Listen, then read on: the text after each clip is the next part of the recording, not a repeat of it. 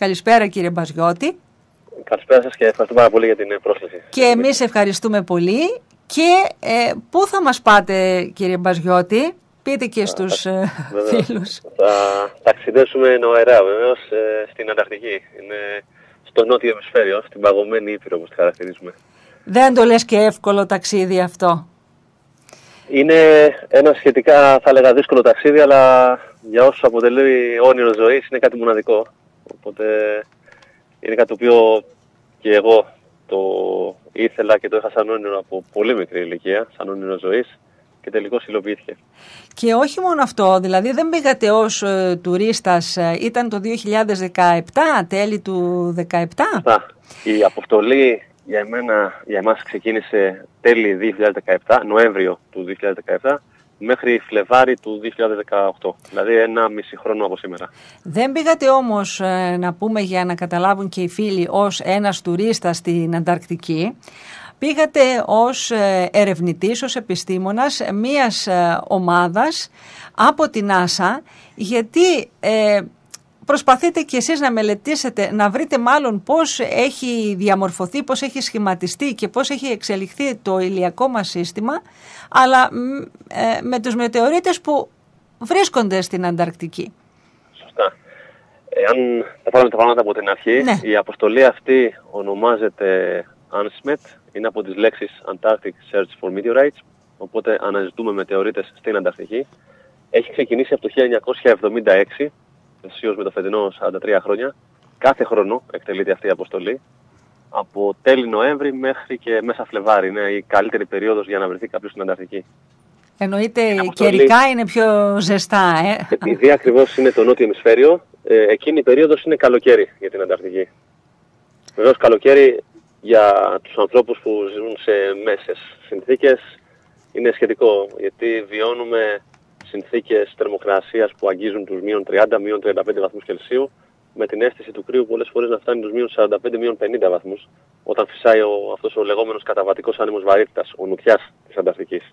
Αυτές τώρα είναι οι καλοκαιρινές θερμοκρασίες που μας λέτε. Σωστά. ε, εμείς παραμείναμε κοντά στο Νότιο Πόλο, στο λεγόμενο βαθύ πεδίο της ε, Ανταρκτικής, όντας σε σκηνές, για 5,5 περίπου εβδομάδες, βιώνοντας τέτοιες συνθήκες θερμοκρασίας, μείον 25, μείον 30, μείον 35 βαθμούς Κελσίου. Έχει αρκετό κρύο, βέβαια είμαστε προστατευμένοι γιατί έχουμε τον κατάλληλο εξοπλισμό, ρούχα, τα οποία φοράμε, κατάλληλες μπότες, ε, οπότε είμαστε αρκετά προστατευμένοι και απέναντι στον κρύο και απέναντι στο δυνατό άνεμο που φυσάει. Βέβαια, ε, είχατε σκηνές, δεν ήσασταν δηλαδή σε κάποιο κτίριο, γιατί δεν υπάρχουν και τέτοιες εγκαταστάσεις, θα μου πείτε, στο σημείο που, έχετε, που φτάσατε εσείς; Ακριβώς. Ε, εμείς παραμένουμε λοιπόν στο βαθύ πεδίο, στο λεγόμενο μπλε πάγο της Ανταρκτικής, εκεί όπου απλώς στείνουμε ένα κάμπ, αποτελούμενο από δύο σκηνές, δύο άτομα χωράνε σε κάθε σκηνή και μία σκηνή τουαλέτα. Από εκεί πέρα έχουμε κάποιον άλλο εξοπλισμό για να μπορέσουμε να έχουμε ενέργεια, φωτοβολταϊκά πάνελ, ε, κάποια κουτιά αποθήκευσης ε, τροφίμων, ε, κάποια δοχεία καυσίμου, γιατί κινούμαστε με snowmobile, τα χιονοχήματα, οπότε αυτά χρειάζονται καύσιμο. Και αυτό είναι, δεν έχουμε κάτι άλλο σαν ναι. εξοπλισμό. Ε... Οπότε μας αφήνουν εκεί κάποια ειδικά δικινητήρια αεροπλάνα, με όλο τον απαραίτητο εξοπλισμό. Από εκεί πέρα στείλουμε το κάμπ και ξεκινάει η αποστολή. Εμείς παραμείναμε συνολικά στην Ήπεθρο για 5-5,5 περίπου εβδομάδες. Συνολικά στην Ανταρκτική όμως παραμείναμε για 80 ημέρες. Οπότε τις υπόλοιπες ημέρες τις ε, περνούμε στην ε, βάση, στην κεντρική βάση των Αμερικανών, τη βάση Μακμέρντο. Ναι. Ε, για να είναι τώρα όπου να είναι θα συμπληρωθεί μισός αιώνας αυτής της έρευνας. Αυτό δείχνει και το ενδιαφέρον που υπάρχει όσον αφορά στο κομμάτι αυτό. Ε, εμείς τώρα θα κάνουμε την απλοϊκή ερώτηση κύριε Μπαζιώτη. Ε, τι μπορεί να μας πει ένας μετεωρίτης που είναι θαμένος κάτω από τόνους πάγους στην Ανταρκτική για το διάστημα; Θα πείτε ότι ε, με τις ελάχιστότατες γνώσεις που έχουμε ότι αν αναλύσετε αυτό το πέτρωμα κάτι θα σας δείξει. Ε, να κάνω μόνο μια μικρή διόρθωση. Ναι. Ο, τους ε, μετεωρίτες τους αναζητούμε εμείς στον μπλε πάγο αλλά στην επιφάνειά του. Α, είναι επιφανειακή, μάλιστα. Ναι, οπότε ό,τι μετεωρίτες υπάρχουν εγκλωβισμένοι μέσα στον πάγο, καθώς ο πάγος κινείται, ολισθαίνει, από ανατολάς προς δυσμάς όπως κοιτάζουμε το χάρτη της Ανταρκτικής, ο πάγος πάει και σταματάει σε μια οροσειρά, τα λεγόμενα Trans-Antarctic Mountains. Είναι μια μεγάλη οροσειρά που κόβει στα δύο την Ανταρκτική. Εκεί λοιπόν ο πάγος σταματά και διαβρώνεται. Δεν έχει άλλο ε, δίωδο, άλλη έξοδο να κινηθεί. Οπότε καθώς διαβρώνεται, οτιδήποτε υπάρχει εγκλωβισμένο στο εσωτερικό του, οι μετεωρίτες δηλαδή, βγαίνουν στην επιφάνεια. Οπότε εμείς πηγαίνουμε σε περιοχές του μπλε πάγου, αναζητώντας μετεωρίτες στην επιφάνεια. Ε, η Το σημαντικό εδώ ναι, ναι. Ναι, είναι, είναι να άξιο ότι από τους περίπου 63.000 μετεωρίτες που καταγεγραμμένοι βρίσκονται στη βάση δεδομένων της Meteoritica Society of America, οι 23.000 ε, έχουν, προέρχονται από αυτή την αποστολή, από την αποστολή ANSMET από το 1976. Δηλαδή το 40% των μετεωρητών έχουν συλλεχθεί από τη συγκεκριμένη αποστολή.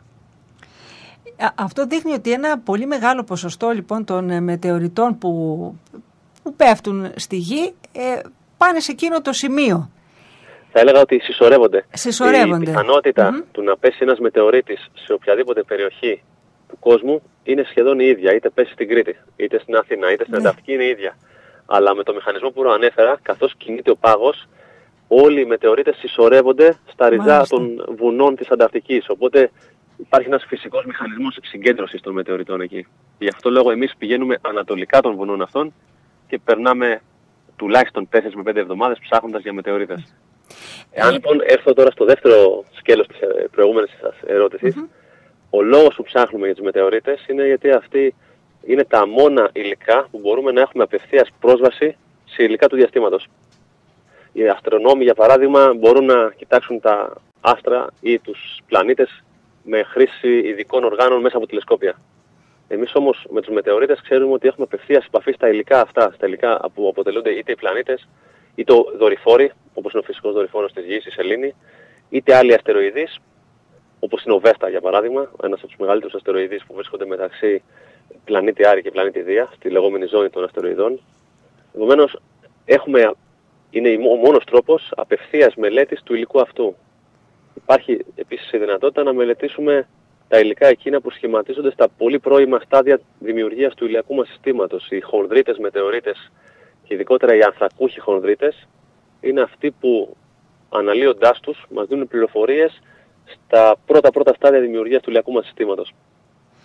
Ε, αυτό που εσείς επιδιώκετε, οι, οι ερευνητές, οι επιστήμονες ε, δηλαδή κύριε Μπαζιώτη, συλλέγοντας αυτά τα στοιχεία, αναλύοντας τα κομμάτια των ε, μετεωρητών, ε, αυτό στο οποίο θέλετε να καταλήξετε εσείς ποιο είναι ή δεν είναι ένα; Τα ερωτήματα είναι Ανάλογα ο κάθε επιστήμονας το βλέπει από την επιστημονική του, από το επιστημονικό πεδίο το οποίο αναλύει.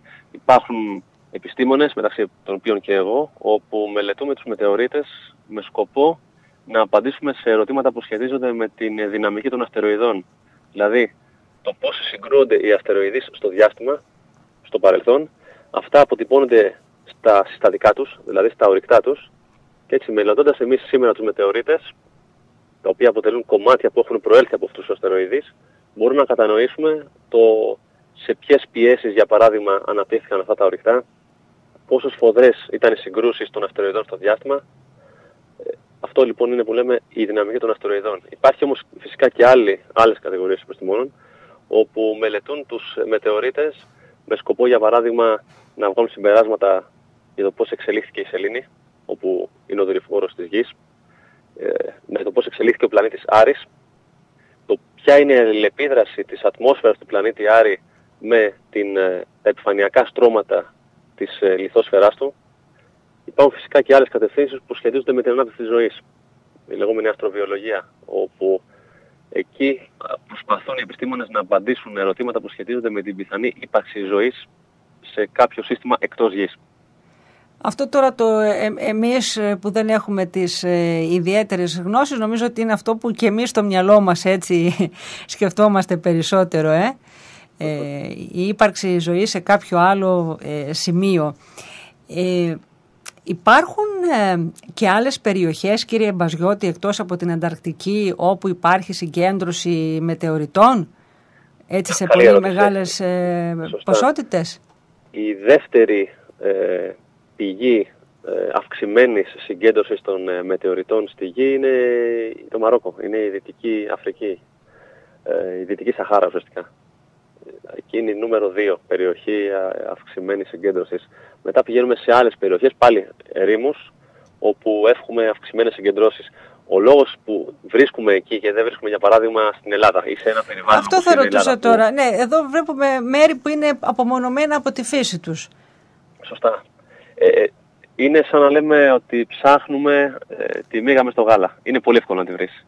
Όταν όμως ψάχνεις για μετεωρίτες σε ένα ε, περιβάλλον, το οποίο υπάρχει αυξημένη δασοκάλυψη ή φυτοκάλυψη ή υπάρχει αυξημένη παρουσία ανθρώπου μέσω ε, δημιουργίας κατοικιών ή κάτι σχετικό, ναι. τότε μειώνεται κατά πολύ οι πιθανότητες του να βρεις ένα μετεωρίτη. Επίσης, όταν είμαστε σε ένα περιβάλλον όπως εδώ, στο περιβάλλον της Ελλάδος, έχουμε και τα φαινόμενα διάβρωσης. Η παρουσία του νερού λοιπόν είναι σε εισαγωγικά αρνητική για την ε, διάσωση ενός μετεωρίτη, γιατί πολύ απλά μπορεί να τον εξαλλιώσει να καταστρέψει κάποια επιφανειακά χαρακτηριστικά του και έτσι να μην είμαστε εμείς σε θέση να τον, ε, να τον βρούμε. Mm. Αν αντίθετα όμως πάμε στην Ανταρκτική, η Ανταρκτική αποτελεί την σε εισαγωγικά χειρότερη έρημο του πλανήτη μας.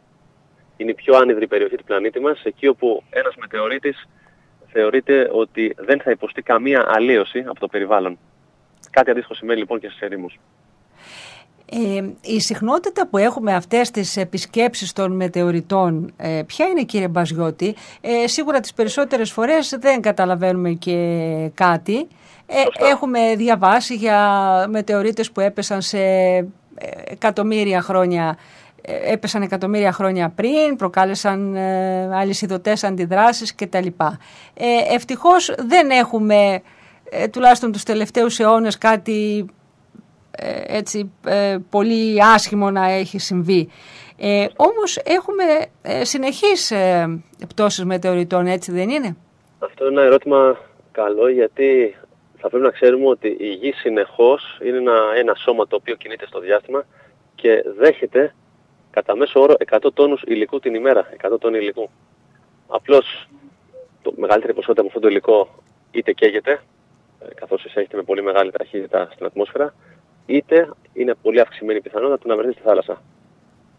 Οπότε μόνο κάποια πολύ πολύ μικρή ποσότητα είναι αυτή που τελικά θα διασωθεί ή αυτή ακόμα μικρότερη ποσότητα αυτή που τελικά θα φτάσει στην ξηρά, στη Χέρσο ή στον πάγο βεβαίως. Είναι πιο φτηνή η διαδικασία αυτή που κάνετε εσείς επί της γης; Παρά η συλλογή ε, πετρωμάτων από το διάστημα μέσω μιας αποστολής; Σαφώς, σαφώς.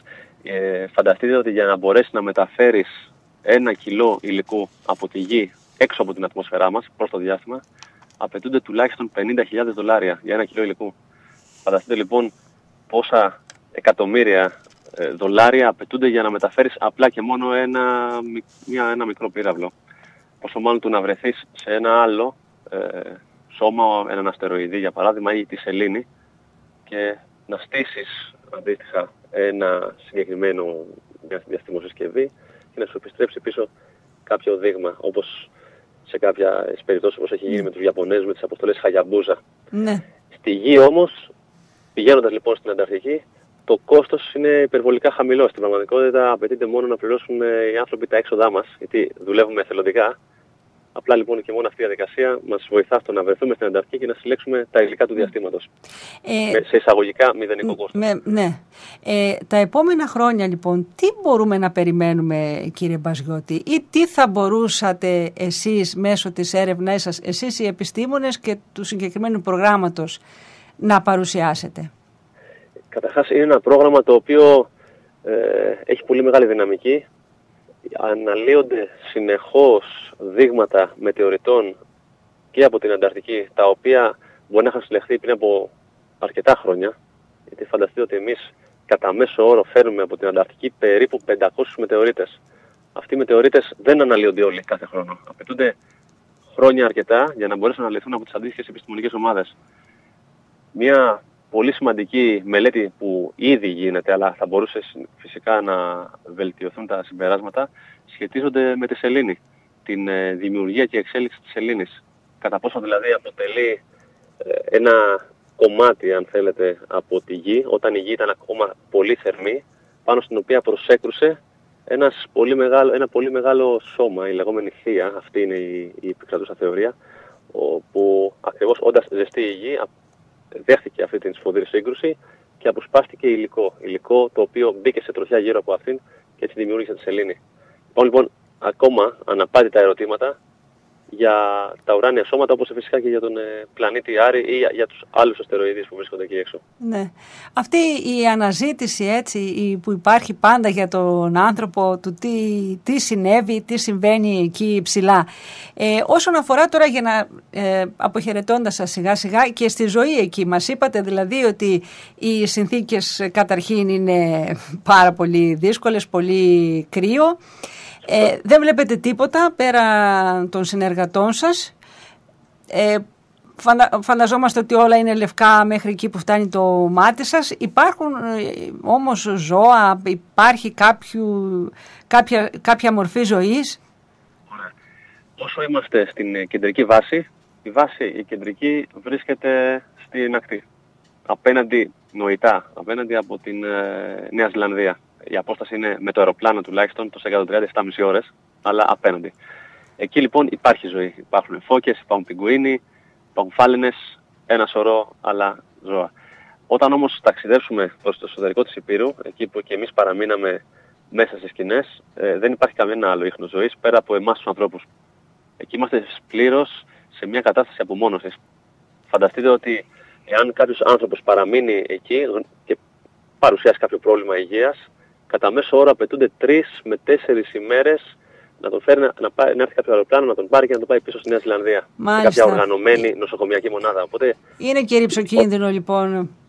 Λέ, σε περίπτωση που κάτι συμβεί. Πράγματι. Είναι πολύ μεγάλες οι αποστάσεις. Ναι. Ισχύει. Οι αποστάσεις είναι πολύ μεγάλες, όπως και ο καιρός. Όταν αλλάζει γρήγορα, ε, δεν είναι βέβαιο ότι μπορεί να έρθει κάποιο αεροπλάνο να σε πάρει, να σε μεταφέρει σε κάποια άλλη περιοχή. Ε, πάντοτε όλα εξαρτώνται και από τον καιρό. Είναι πολύ σημαντικό παράγοντα και αστάθμητος παράγοντα. Και εσείς όσο ήσασταν εκεί, βλέπατε μόνο φως. Σωστά. Δεν... Εμείς 24 ώρες την ημέρα δουλεύουμε μόνο με το ρολόι. Δηλαδή 9 η ώρα το πρωί βάσει ρολογιού ε, ξεκινάμε τη δουλειά. 9 η ώρα με 9.30 το βράδυ κοιμόμασταν. Αλλά πάντα έξω υπήρχε φως. Ε, κάνει κάτι αυτό έτσι στον οργανισμό. Δεν είναι, δηλαδή μια κουβέντα είναι τώρα εμείς που το συζητάμε, αλλά νομίζω ότι όταν το βιώνει κάποιος αυτό και τη, δηλαδή και ο ψυχολογικός παράγοντας ε, σίγουρα σε εσάς θα είναι πολύ έτσι επιβαρημένος από διάφορους παράγοντες και τη μοναξιά και αυτό. Είναι, ισχύει. Φανταστείτε ότι υπάρχουν ένα σωρό παράγοντες ταυτόχρονα που μπορούν να επιδράσουν αρνητικά στην ψυχολογία σου. Ο ένας είναι η μοναξιά. Ο δεύτερος είναι το πολύ κρύο. Ο τρίτος είναι ότι συνεχώς βλέπεις φως έξω. Δεν υπάρχει αυτή η εναλλαγή δηλαδή ημέρας νύχτας που, που βιώνουμε ναι. εμείς σε, στα, στις περιοχές αυτές του πλανήτη μας όπως είναι η Ελλάδα. Οπότε είναι κάποιοι παράγοντες οι οποίοι πολλές φορές δεν ξέρεις πώς μπορούν να επιδράσουν στην ε, ανθρώπινη ψυχολογία. Υπάρχουν περιπτώσεις πριν από 4-5 χρόνια σε προηγούμενη ε, αποστολή όπου απαιτήθηκε ένα από τα μέλη της ομάδας να επιστρέψει στην κεντρική βάση Ακριβώς επειδή μετά από τη δεύτερη ομάδα δεν μπορούσε να παραμείνει στην Ήπεθρο. Είχε... Δεν μπορούσε να το διαχειριστεί. Ναι, υπήρχε, υπήρχε πρόβλημα. Ναι, γιατί ξεκινάει κάποιος και νομίζω ότι θα τα καταφέρει, αλλά όταν βιώνεις όμως μια κατάσταση δεν είναι βέβαιο ότι ε, μπορείς και να ανταπεξέλθεις.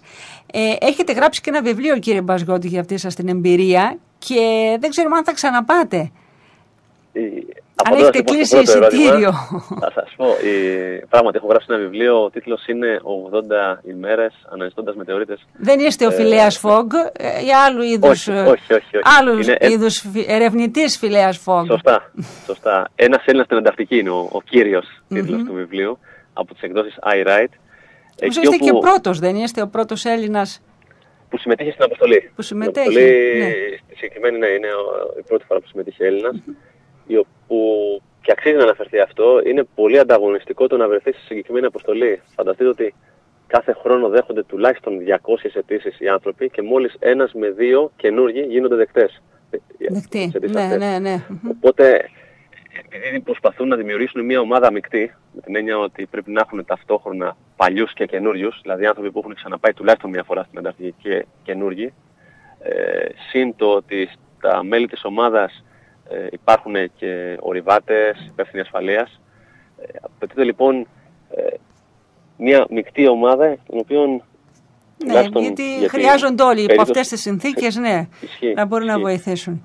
Μειώνεται ε... όμως η πιθανότητα του να βρεθείς εκεί ακριβώς γιατί εάν πάρουν για παράδειγμα μια παλιά ε, γυναίκα, δηλαδή μια κοπέλα που έχει ξαναπάει στην Ανταρκτική, θα χρειαστεί να απαιτηθεί και μία καινούρια. Συνήθως πάνε δύο, δύο...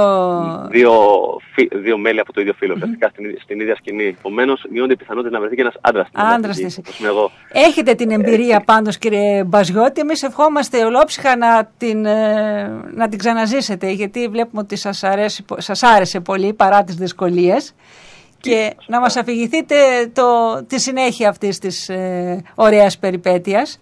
Σας ευχαριστούμε θερμά για ναι. αυτήν την κουβέντα και το ταξίδι, ναι. Να είστε καλά, ευχαριστώ πάρα πολύ. Για το κλείσιμο ναι. θα έλεγα όπως συνήθως κλείνω και στις δικές μου ομιλίες. Επειδή η συμμετοχή σε αυτήν την αποστολή για μένα αποτελούσε όνειρο, ακριβώς αυτό που προσπαθώ να περάσω στο δικό μου βιβλίο. Προσπαθώ λοιπόν να πω στους νέους ότι ακολουθήστε τα όνειρά σας, όσο δύσκολα και να είναι. Αυτά. Όσο μακριά και αν σας πάνε. Σωστά. Όσα χρόνια και απαιτούνται μέχρι να τα υλοποιήσετε, βάλτε τους στόχους και προσπαθείτε να τα υλοποιήσετε. Έχετε την αφοσίωση, υπομονή, επιμονή μέχρι να υλοποιήσετε το όνειρό σας. Νομίζω ότι αυτός είναι ο καλύτερος τρόπος να κλείσουμε κύριε Μπαζιώτη. Ό,τι καλύτερο σας ευχόμαστε μελλοντικά. Σας ευχαριστούμε. Γεια χαρά. Να είστε καλά. Να είστε καλά. Γεια χαρά.